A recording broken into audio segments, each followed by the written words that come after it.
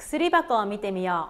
う、えー、私は登録販売者試験の勉強中なんですけれども、えー、家にある薬箱の裏側ですね、えー、を見てみると登録販売者試験で使う大切な用語がたくさん入って含まれてますので、えー、一緒に見ていきたいと思います。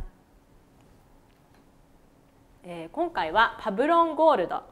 の薬箱を見ていきます。ピックアップするのはこちらリゾチーム塩酸塩です、えー、成分のところに書いてあるんですけれども、えー、アフロ先生と学ぶ登録販売者の、えー、テキストを見ていきたいと思います。えー、こちらは、えー、抗炎症成分として使われているんですけれども、えー、鼻の粘膜の、えー、腫れを和らげる目的ですとかあとはえーと、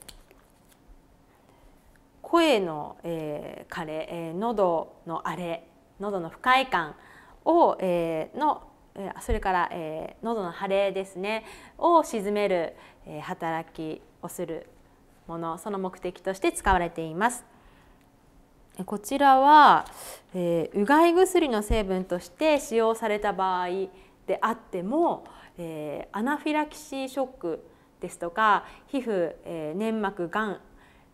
症候群ですとか中毒性表皮壊死誘拐症のような、えー、重篤な副作用を生じることがあります。えー、それから抗炎症成分としては、えー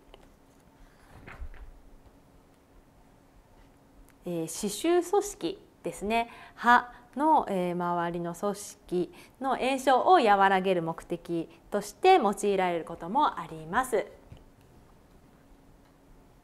え詳しくはアフロ先生と学ぶ、え登録販売者最短合格講座で、え